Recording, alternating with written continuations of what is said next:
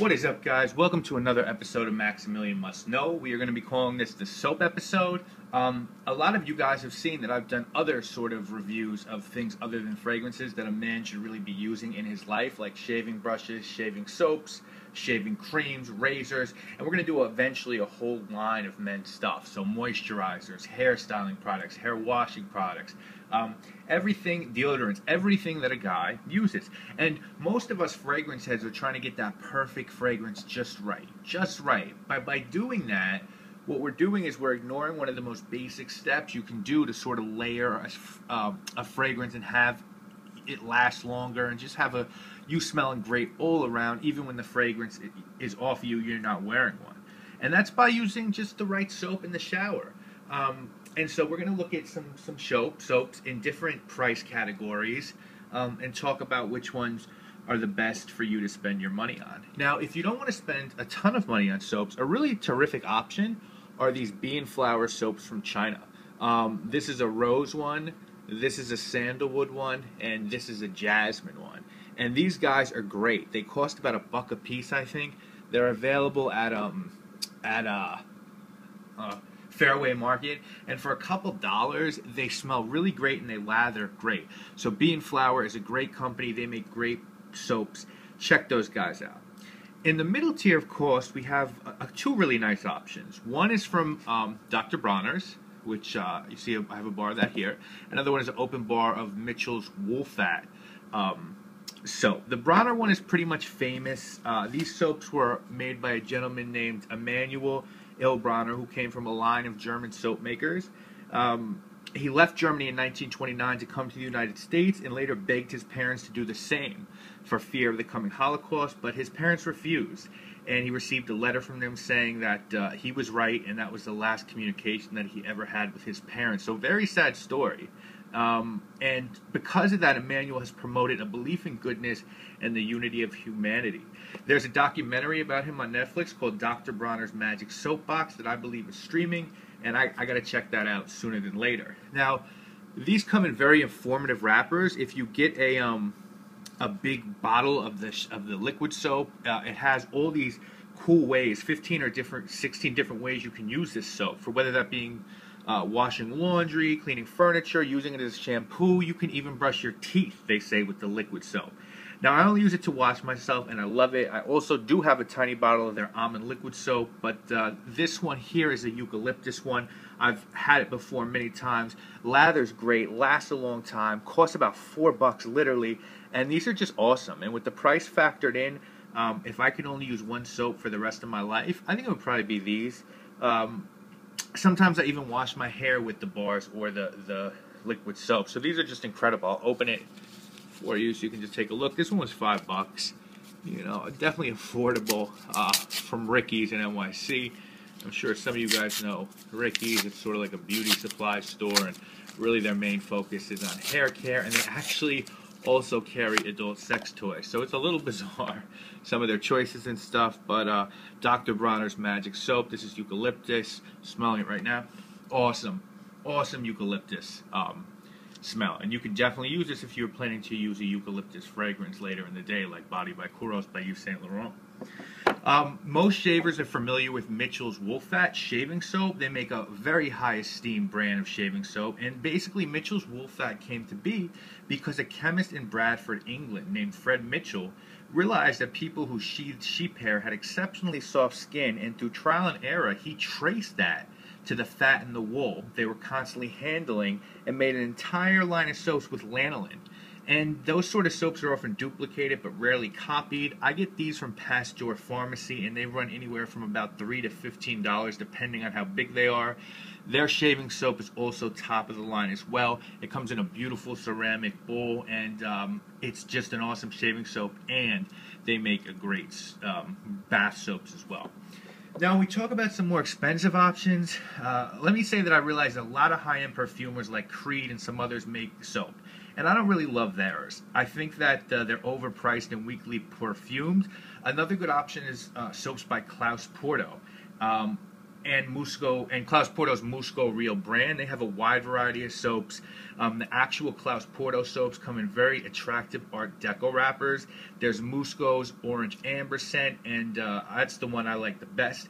I love the way they lather and cleanse. The only thing is I find this site, the scent a little too light and gentle for a soap that's going to cost more than ten dollars.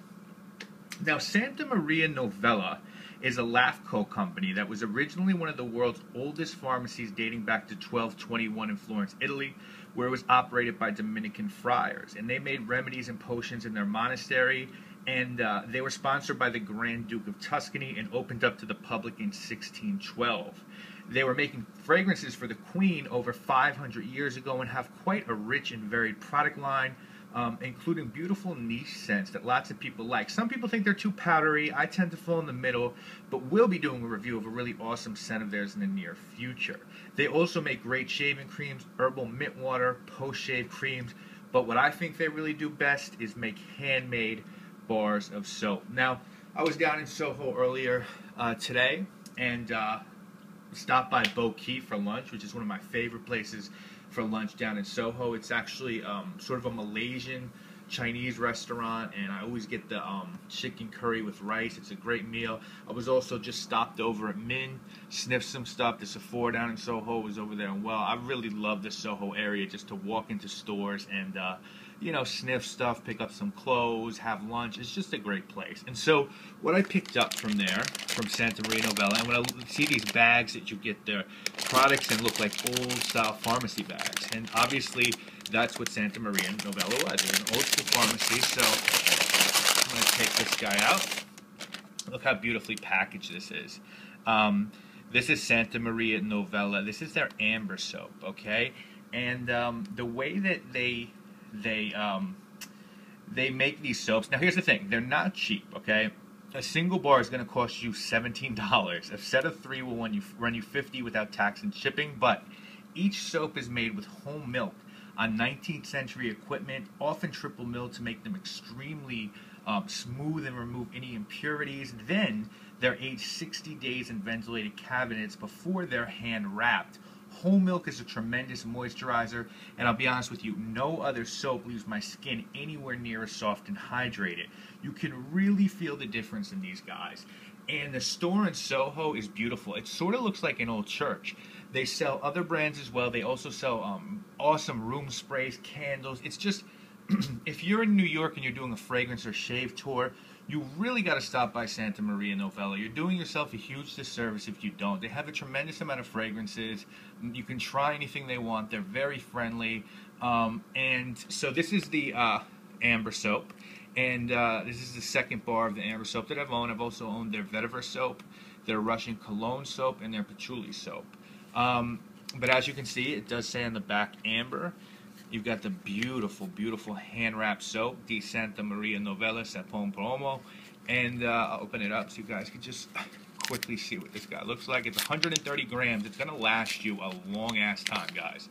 Um, that's why the $17 doesn't feel like too bad of a hit because you're literally um, going to use this for a long time. Now, see, the soap is really, this is high end stuff, right?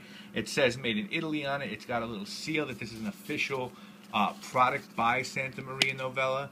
Let me try to peel that off. I don't want to rip it so you guys can see the paper that comes on the soaps.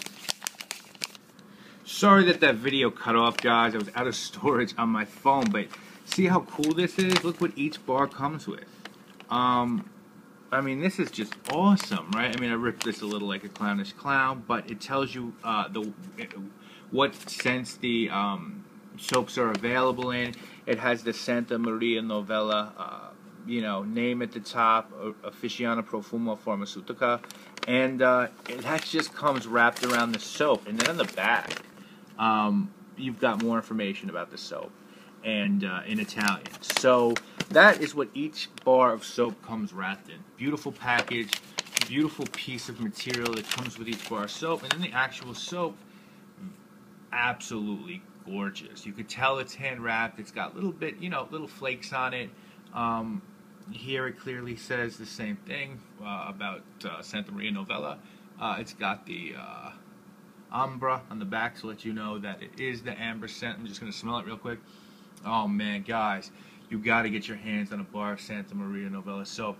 You're straight up bugging if you don't. If you can't get down to Soho or they don't have a Santa Maria Novella where you are, okay, what you need to do is order it from the internet. You might want to just to save save money on the shipping and handling.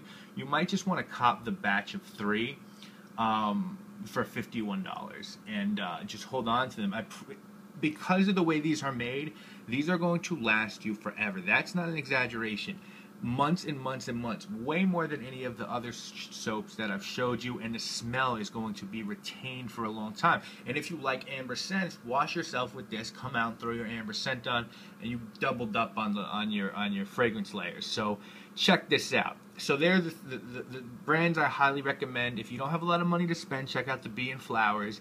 If you have a little bit more, you can spend five to ten dollars on a bar of soap or twelve. Check out um, either the Musgo Real or the um, Wool Fat, Mitchell's Wool Fat, or the Dr. Bronner's. And if you really want to splurge on yourself and give yourself a nice little luxury, because you deserve it, especially my dudes out there that are hardworking, pick up a bar out of this. This is a 9 out of 10 to me. The only reason it's a 10 out of 10 is because some of these other soaps that I've just showed you are pretty fantastic as well. And, uh, you know, if I had the choice of getting four bars of Dr. Bronner's or one of these, and I could only spend my money that way, I'd probably get the four of Dr. Bronner's. But um, I would like to exclusively use these soaps, man. I really, really would. And their shaving products. Their shaving cream is not cheap, but it is awesome. Their herbal toner is awesome. A lot of their fragrances are awesome, especially Nostalgia, which smells like a vintage race car, blows Bulgari black out of the water. Big ups to Frankinator for putting me up on that. Um, oh, and then one more thing I wanted to show you guys quickly. While I was down in Soho, had to stop by Dean and DeLuca, my old-time favorite for the crack chocolate chip peanut butter cupcake from Dean and DeLuca. I mean, I had to. what can I say? I had to, you know. Um, so that's it, guys. That is our episode for this week, the soap episode. We will definitely be back later in the week, hopefully with some more videos. I hope you guys are enjoying what you're seeing. I hope I gave you something to think about with the soaps you pick, and we'll We'll, we'll, you'll see me again soon. You'll see another video from Maximilian soon. Again, I am Maximilian, and I must know. Thank you for watching.